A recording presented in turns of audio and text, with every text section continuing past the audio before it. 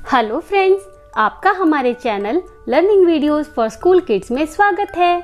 आज हम मेरा प्रिय फल केला पर 10 लाइनें सीखेंगे। मुझे बहुत से फल अच्छे लगते हैं, पर मेरा सबसे प्रिय फल है केला। केला बहुत मीठा और स्वादिष्ट होता है।